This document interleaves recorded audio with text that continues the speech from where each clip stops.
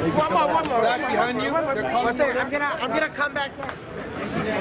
Can I get one too, man? Yeah, of course. Love you, I'm saying. Oh, thanks. Is it true that men with beards are the best lovers? Hell yeah, baby. The light behind